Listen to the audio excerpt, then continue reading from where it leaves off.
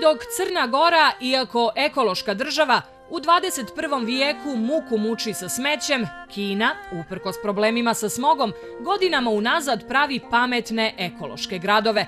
Jedan od njih nalazi se u Tijencinu, 150 km od Pekinga.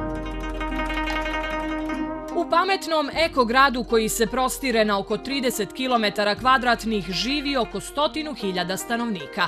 Da bi funkcionisali kao skladno društvo bez problema, brinu zaposleni u operativnom centru. Oni motre na svaki korak. Ovdje se skupljaju sve informacije. Do nekih mi sami dolazimo, a neke nam dostavljaju građani. Kad nas pozovu, odmah reagujemo i pružamo pomoć. 9600 je broj na koji stanovnici pametnog grada mogu da prijave bilo kakav problem. A gdje se oni tačno nalaze, dispečeri vide preko ovog ekrana i tako mogu da pošalju pomoć onamo gdje je potrebna. Oni koji znaju kineski jezik na ovom ovdje ekranu mogu da vide i tačno kakve probleme građani se prijavljuju, a to su između ostalog problemi koje imaju sa grijanjem, hlađenjem ili im treba vodoinstalater. Koliko brzo tehnologija napreduje vidi se i na primjeru autobusa koji se obraćaju ulicama pametnog ekograda. Ovdje ih zovu Panda, po nacionalnoj maskoti Kine. Vjerovali ili ne, mi se nalazimo u autobusu. Ovo je jedan od pametnih autobusa u pametnom ekogradu.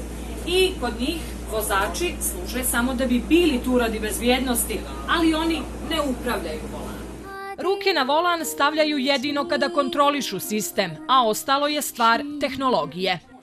I nema klasičnog plaćanja karata kada uđete u autobus, ostavite otisak vašeg lana i prstiju. To se onda sve poveže sa vašim ličnim računom sa koga se skida određeni iznos. I dok čekate da stignete na svoje odredište, vrijeme možete potrošiti i ovako. U pametnom ekogradu i ljubitelji knjiga lakše stižu do onoga što traže. U ovoj biblioteci, do dijela koje vas zanima, odvešće vas robot. Pametni ekograd urađen je kroz projekat saradnje Kine i Singapura. Do sada je ovdje uložen ogroman novac. Planiramo da ga nadogradimo, da bude primjer pravog pametnog ekograda. Na ovako nešto mi ćemo ipak morati dosta da čekamo. Ali, ako ne možemo imati ovakve gradove, možemo se potruditi da ovi u kojima živimo budu makar čisti.